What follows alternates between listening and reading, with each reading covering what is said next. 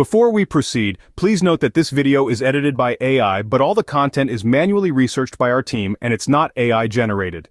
Ever wondered why your bell router or modem is flashing that dreaded error code 2000? Or perhaps you're confused about what it means?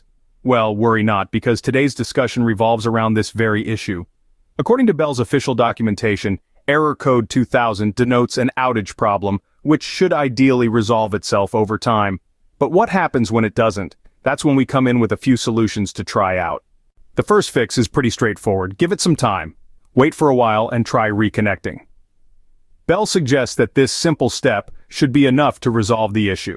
However, if the problem persists, it might be time to seek help from the Bell support team.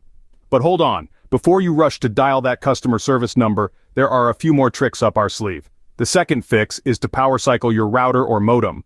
Start by switching off the device. Proceed to unplug all the wires connected to it. After waiting a few minutes, plug everything back in and restart the device. Now it's time to check if that pesky error code is gone.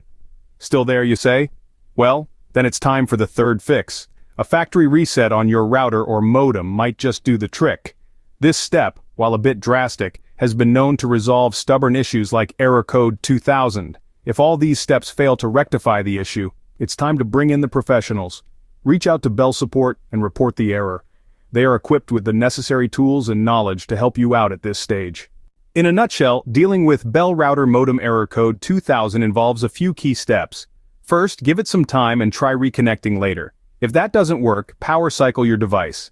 Still no luck? Try a factory reset. If the error persists, it's time to contact Bell Support. If you like this information, don't forget to subscribe, it will be a great support. And for more tech updates, visit quaries.com.